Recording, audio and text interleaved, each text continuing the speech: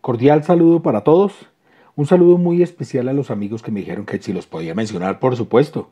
Mis amigos en México, en Nicaragua, en Guatemala, en Costa Rica, en El Salvador, en Panamá, en Venezuela, en Perú, en Chile, en Ecuador, en Brasil y en Argentina. Espero no se me haya escapado ninguno. En esta oportunidad de nuestro curso de estadística aplicada hablaremos sobre, sobre la elaboración de gráficas, de qué se trata, para qué sirven y bueno, enseguida comenzamos. Muy bien, vamos a organizar todo el tema. Inicialmente hablaremos qué es la asignatura y vamos a mirar cuánto nos demoramos en este video, si no lo fraccionamos en dos o en tres partes según lo que tengamos. Muy bien, ¿de qué se trata? ¿Qué vamos a aprender? Contenido. Sabemos que en los laboratorios como en la vida estamos inundados, rodeados siempre, permanentemente de datos. Esos datos deben ser analizados, deben ser perfilados, sobre todo en el laboratorio. ¿Por qué? Porque en el laboratorio, en el caso de la biomedicina, de, la, mm, de todo lo que tenga que ver con la vida, ¿cierto? Como laboratorio de bacteriología y laboratorio clínico y bacteriología, ¿de acuerdo? Así que hay que presentar unos datos estadísticos para tomar decisiones. ¿Por qué? Porque de ahí deriva que en un paciente vayamos a desarrollar un tratamiento que le dé bienestar o le salve la vida. Profe, pero solamente estadística sirve para esto? No, porque en las inversiones también, en la economía. ¿Y a quién no le apetece tener una buena gestión de su dinero? ¿Comprender los informes? ¿Saber cómo invertir en bolsa? Eso es lo que vamos a aprender. ¿Por qué? Porque cada uno de los gráficos estadísticos nos muestra cómo ha sido el comportamiento de ese virus, de esa bacteria, de ese elemento, de ese medicamento, de esa acción, de ese bono, de ese par de divisas, etc. Yo creo que ya se comprende. Muy bien. Así que inicialmente pensemos que los informes tienen en su mayoría texto. O sea, eso quiere decir que para entender el informe tendría que leerme todo el texto. Y no es tan fácil. Enseguida de leer el texto aparece otra herramienta que nos ayuda a comprender y son las tablas de datos. Cuando hay tanto texto y cuando necesitamos muchas cifras, hay que presentarlas de manera organizada en unas tablas de datos. Así que está muy bien. Texto en cantidades ingentes, luego la tabla de datos, pero a veces es como medio aburrido, como que la gente le parece que es algo que no quiere hacer. Y llegan las gráficas a salvar el día porque dicen que una imagen vale más que mil palabras. Profe, ¿y para qué sirve hacer todo esto? Sencillo, sirve para desarrollar o promover el pensamiento analítico, pensar en qué decisión estamos tomando, si está bien hecha, si está mal hecha, si se trata de una fake news o de una noticia verdadera. ¿Ok? Eso le genera el pensamiento de diseño. Eh, es la imaginación lo que van dibujando en su mente. Posteriormente el pensamiento crítico, el pensamiento inferencial y deductivo. Como decimos en Colombia, no vamos a tragar entero. Sabemos de dónde vamos a sacar la información. Bueno, muy bien. Hasta ahí, perfecto. Objetivos. Aprendiendo cómo se presentan y se hacen las gráficas, vamos a saber cómo manejar mejor los datos que obtenemos en la vida. Bien, para terminar esta sencilla presentación y entrar en materia, este es el profesor quien les habla.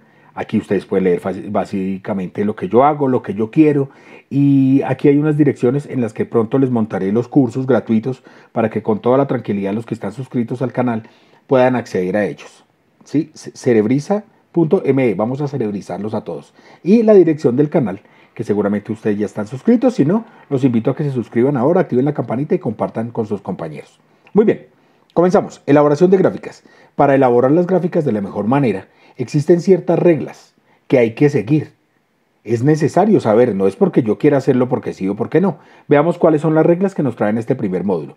A nivel mundial, existen unos principios, unas normas que ordenan la manera en que yo voy a determinar cómo dibujar la gráfica o cuál gráfica, cuál tipo de gráfica utilizar, porque no hay una sola. Depende de lo que yo quiera hacer o lo que quiera mostrar. Veamos cómo, cuáles son las reglas.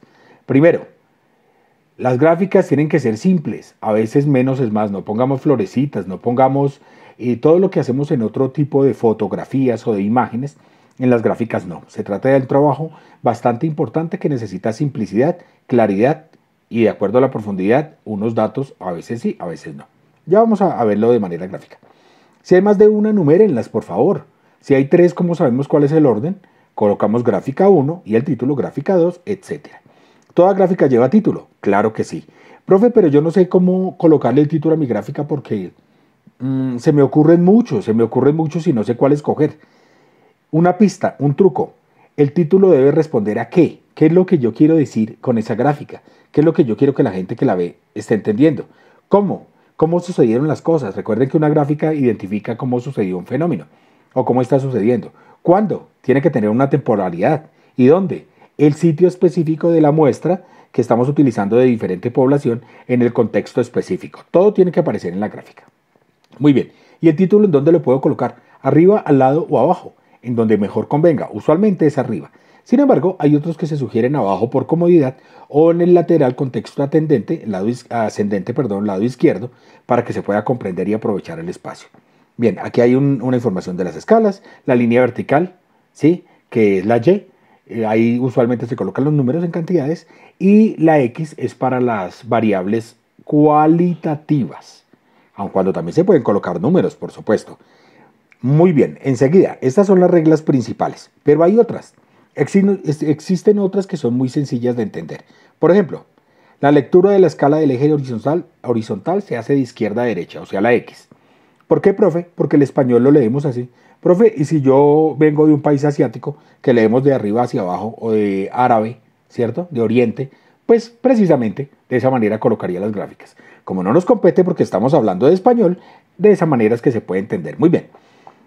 Mm, ¿La representación del fenómeno debe variar solamente en una dimensión? Claro que sí. Si nosotros estamos analizando la cantidad de las personas, quienes asisten, quienes asisten al cine después de la pandemia, si son hombres o mujeres, si van con chaqueta o sin chaqueta, pues sería demasiada información. Tendríamos que tener una sola dimensión, la tabulamos y hacemos una gráfica. Enseguida hacemos otra para cada una de las cosas. Más adelante veremos que hay unas gráficas que permiten tener una cantidad de variables importantes, digamos dos o tres, y un grupo de gráficas que también explicita mucho lo que necesitamos explicar.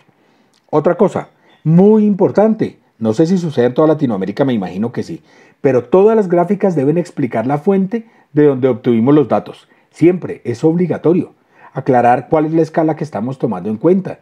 ¿De acuerdo? ¿Cuál es la escala de medida? Colocar las leyendas necesarias, las notas y las convenciones que ayuden a explicar a cualquier persona que la pueda leer, entender e, e, identificar las características presentadas. ¿Sí? De eso se trata. Todo el mundo la debe entender, todo el mundo. Cualquier persona que no tenga el entrenamiento de los que están en esta audiencia debe saber de qué se trata. Todos deben tener una idea, viendo una gráfica, saben de qué se trata. Muy bien. Datos numéricos sobre los que se basa la gráfica deben presentarse en un cuadro o tabla. ¿Para qué? Pues para que estén ordenados y se puedan eh, comprender fácilmente. Si no están incluidos en la gráfica, van en la tabla. Si no, pues no es necesario. ¿Listo? Muy bien. Enseguida, las gráficas deben seguir y nunca preceder a la exposición del texto. ¿Cuál es el orden, profe? Leamos el texto, ojalá el título y los objetivos, pasemos a la tabla de datos para tener una idea y concentrémonos en la gráfica. Seguramente tendremos muy claro de lo que se trata según el trabajo de investigación o la tarea que estemos llevando o la muestra que estemos analizando en laboratorio o en la bolsa de valores o en lo que ya les expliqué. ¿Mm? Eso es. Sin embargo, posteriormente, si me hemos entendido bien, nos volvemos al texto y luego la tabla de datos y así en un bucle interminable que nos va a hacer ganar mucho dinero y salvar muchas vidas. Por último, cuando la gráfica presenta más de una variable, deberá hacerse una muy clara diferenciación por medio de leyendas, notas o signos convencionales. Ustedes me entienden, si es talla, si es peso, si es edad, coloquen símbolos o el título que estoy diciéndoles para que cualquier persona pueda entenderlo sin prestarse a la confusión. Bien, en el siguiente video hablaremos de los tipos de gráficas que existen, aquí van a aparecer, y bueno, los espero para no hacer más largo este tema, ¿vale? Nos vemos pronto. Muchas gracias.